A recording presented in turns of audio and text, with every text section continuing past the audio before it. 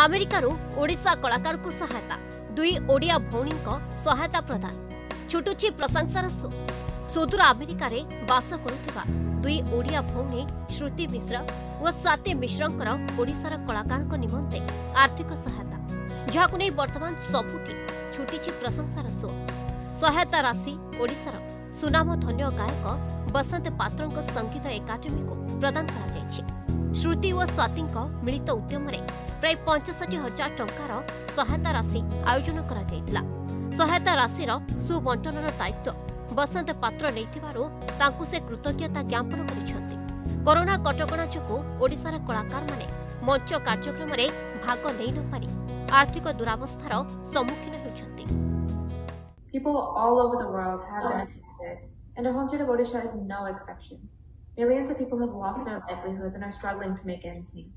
and, this, and artists especially, musicians and singers, have been hard hit as governments have limited large gatherings such as concerts and in-person classes.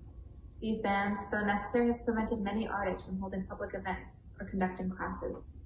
The work of these artists gives us all so much joy, and it's important that we support them in whatever ways that we can. To help these talented artists and celebrate their art form, we have organized this fundraising event. We would like to take this opportunity to thank Mr. basan Patra, Mrs. Swagatika um, Panagrahi, and Ms. Pruja Pratusha from the bottom of our hearts. We would also like to extend our appreciation to all of the accompanying instrumentalists and backstage members for all of their excellent work to make the event memorable. Thank you to thank you to Kunal Uncle and Rajul Uncle for their guidance and their help in the digital streaming of the event, and Chetna Auntie for her valuable suggestions in making the event successful.